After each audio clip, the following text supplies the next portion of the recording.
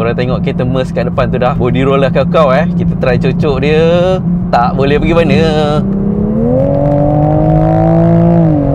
Begitu planted Tak jumpa lagi corner tajam mana yang Kereta ni tak boleh handle Kereta ni tak boleh ambil Tak jumpa Saya nak tanya korang satu soalan. Korang ingat tak dulu zaman 90-an, tahun 1999, Paul Walker ada drive dalam satu movie ni, Fast and Furious, yang version first punya. Korang ingat tak?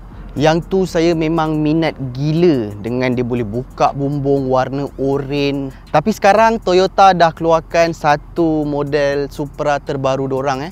Iaitu tak lain tak bukan Toyota GR Supra. Ada beberapa perubahan yang kita boleh nampak. Yang pertama ialah design dia. Yang kedua semestinya enjin dia. So segalanya tentang Toyota GR Supra 2024 dalam video ni guys. Let's go!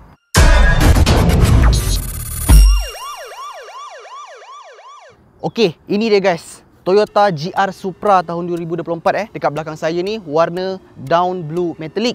Kereta ni adalah definisi sebenar sports car yang cantik. Sebab kalau korang boleh tengok dia punya bahagian depan dia panjang eh. Dan belakang dia tut pendek. Lepas tu saya nak share juga dekat korang. Kereta ni diinspired daripada Toyota FT1. Dia ambil design dia tapi bukan enjin. Dan dia buat jadi Toyota Supra yang sekarang. Dan kalau korang boleh dapat tengok juga, dia punya bahagian hadapan dia dia mimik macam F1 kalau korang tengok dia punya bawah dia diffuser dia macam F1 dengan lampu dia ada tajam-tajam. Lepas tu LED dalam dia cantik memang cantik. Lepas tu dia punya panjang depan dia gila. And then fun fact eh Toyota Supra ni dia punya diffuser dia ni event dia ni fake tau. Bukan betul. Yang kat sini fake ha, yang dekat sini fake yang belakang ni lagi lah fake. Tapi Toyota buat kereta ni dia punya event dia boleh buka. So bermaksud kalau korang nak make up kereta korang nak tambah horsepower ke kalau korang nak buka diffuser event ni boleh. Ha, memang Toyota design macam tu. Walaupun dia fake, tapi dia boleh buka untuk jadi event yang sebenar. Lepas tu korang tengok dia punya bumbung dia. Ada lekuk kat sini. Tujuan dia untuk aerodynamic kereta ni. Kalau korang tengok dia punya design dia pun daripada depan dia slope eh. Dia slope. Fung, macam tu.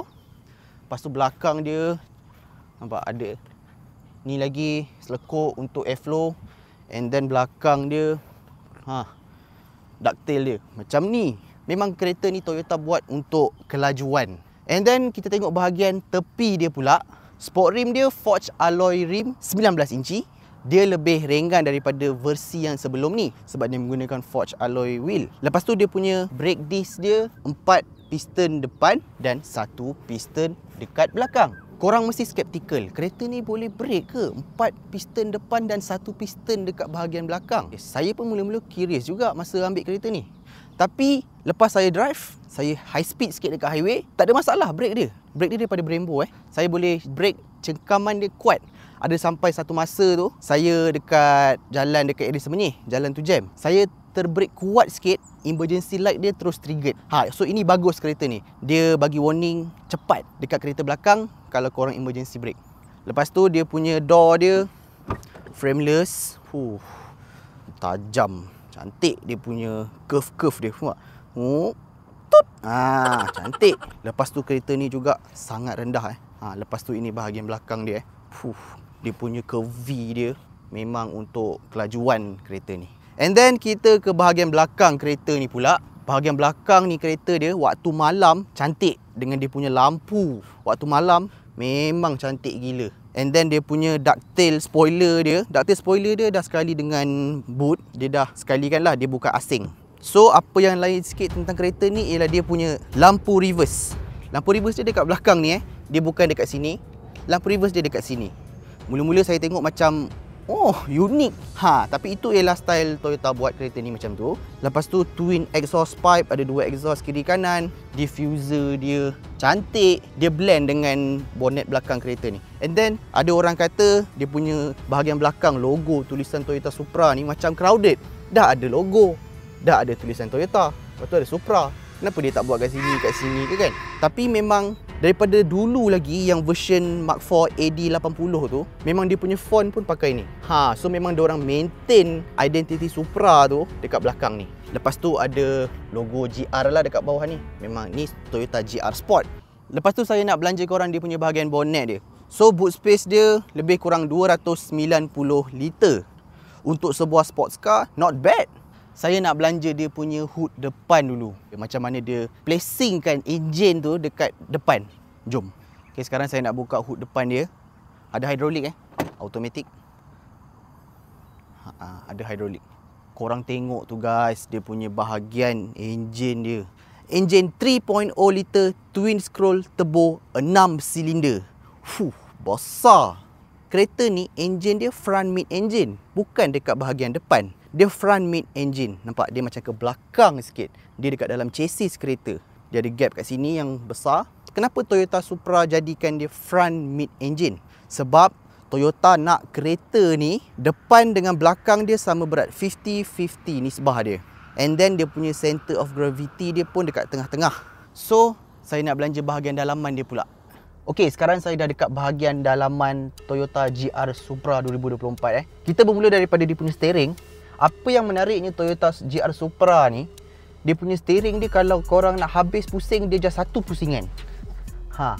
So memang agility waktu ambil corner tu Kita confident. Satu pusingan.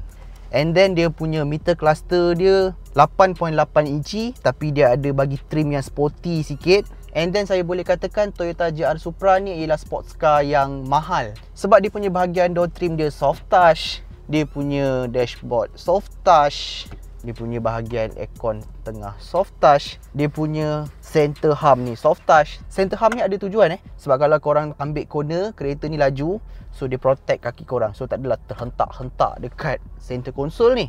Lepas tu Toyota bagi speaker JBL eh? Ada pedal shift bahagian tepi ni ialah bahagian lampu dia ada auto headlamp lampu dia LED dia punya aircon vent dia pun simple, cantik. Cuma dia punya bahagian infotainment system ni kecil saja 8.8 inci. And then kita masuk ke bahagian tengah dia pula Center console. Center console dia ialah carbon fiber guys. Lepas tu kereta ni juga didatangkan dengan wireless charging. And satu fakta tentang kereta ni Kereta ni tak ada Android Auto. Dia cuma ada Apple CarPlay sahaja. Saya tak tahu kenapa Android Auto tak ada dalam kereta ni Maybe korang boleh tahu Komen dekat bawah ada push start button, tak ada sunroof. Lepas tu ada dua cup holder kat sini and then ada satu kompartmen kat bahagian belakang. Kereta ni pun ada cruise control eh. Lepas tu ada head up display. Macam-macam Toyota bagi dekat sports car ni eh. Dia punya seat ni ialah bucket seat ataupun semi bucket, saya tak sure. Tapi saya duduk selesa. Ha. Saya duduk selesa. Kereta ni rendah.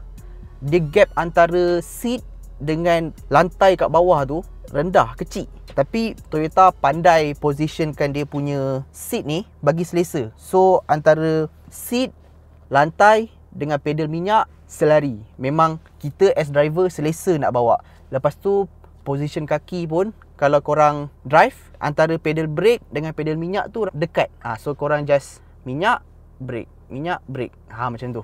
Kereta ni juga didatangkan dengan rotary dunlop eh. Kita boleh control kita punya infotainment daripada rotary dunlop ni sahaja. Boleh scroll, boleh tekan. And then dia ada bagi USB socket and 12 volt socket. Dekat bahagian wireless charging dia ni, dia ada satu casing tau untuk korang lock phone korang waktu tengah charge sebab kereta ni orang bawa laju. So memang phone korang akan tercampak lah. Saya dah hadap dalam benda tu. Saya ambil corner, phone saya dah entah ke mana tak tahu. Dah, dah jatuh ke bawah passenger. So saya kena stop cari phone uh, untuk saya nak ambil balik phone saya. Okey, sekarang saya dengan tim Nas Enco dah berada dekat tempat syuting.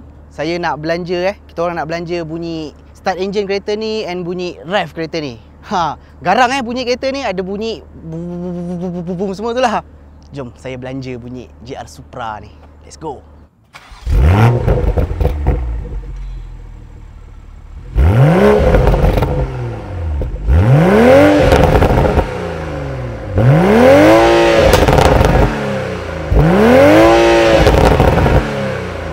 Mula-mula saya rasa saya nak test drive. Tapi bila saya fikir balik Ada orang yang lagi otai lah untuk nak test drive kereta ni. So, saya bagi kepada Nas Untuk test drive pandu uji GR Supra 2024 ni Okay Nas, silakan. Okay, thank you bro Emir ha, Actually, tak adalah expert mana eh. Saya bukan expert tapi adalah pengalaman sikit-sikit especially bila drive Supra ni. In fact, ini bukanlah video pertama saya cerita pasal Toyota Supra. Sebelum ni saya pun dah ada pernah buat review penuh pasal Toyota Supra tahun 2019 yang kereta warna merah tu. Ha, video tu best eh. Itu adalah antara video paling best saya pernah buat. Kalau korang belum tengok, ha, korang boleh klik link dekat atas ni. Korang tengok video tu dulu. Dan Toyota Supra ni merupakan salah satu legend JDMK yang masih lagi wujud. Sampailah hari ini boleh dikatakan jadi MK yang dulu-dulu era 90-an awal tahun 2000 boleh dikatakan 3 monster GTR RX-7 dan ada Toyota Supra. Sangat-sangat legendary nama Toyota Supra ni guys. Yang masih lagi wujud zaman sekarang kereta-kereta MK tak banyak. Uh, Nissan GTR lepas tu ada Nissan Fairlady Toyota GT86 now GR86 ada lagi few dan salah satunya yang masih lagi survive nama-nama besar adalah this one Toyota Supra Okay, kita go to the sports mode. Oh! Kalau dulu Toyota Supra ni terkenal dengan enjin 2JZ GTE eh yang mana dia menggunakan enjin 3.0 liter twin turbo. Tapi sekarang Toyota Supra yang kali ni menggunakan enjin daripada BMW B58 6 cylinder 3.0 liter twin scroll turbo charge. Masih lagi 6 silinder. Oh, yang mana dia boleh produce lebih kurang 388 horsepower dan 500 Nm of torque. Agak besar juga kalau dikira stock engine Toyota Supra lama versi yang korang suka tu dengan yang ini, yes, ini lebih power. Tapi yes, bila orang katakan engine BMW, orang macam takut sikit nak modify ke berbanding dengan engine Toyota Supra yang sebelum ni. Oh, sebab Toyota, come on, Toyota memang orang tak takut nak modify kan. Tapi kalau kita fikir betul-betul kalau enjin BMW ni tak begitu reliable tak tahan tak elok come on takkanlah Toyota nak collaborate dengan BMW come on Toyota kot. Toyota dia menjaga dia punya nama daripada segi dia punya reliability dia. By right Toyota ni mesti kalau dia nak collaborate nak pakai enjin dengan mana-mana company pun dia akan berhati-hati. So boleh dikatakan juga B58 ataupun B series engine ni agak reliable. Boleh dikatakan secara overallnya memang susah kita nak jumpakan common issue lah kan especially B58 tapi bagi saya bagus juga sebab dia pakai BMW bukan company lain. Sebab come on. Toyota perlukan car guy punya feel eh. Kita tengok dia punya handling. Oh melekat guys. Korang tengok kereta Merc kat depan tu dah. Body roll dah kau-kau eh. Kita try cocok dia. Tak boleh pergi mana. Uh, handling kereta ni saya teringatkan macam saya bawa saya punya RS eh. Betapa plantednya kereta ni dekat atas jalan bila korang corner. Saya tak jumpa point corner yang saya boleh melayang ataupun boleh understeer. Begitu planted.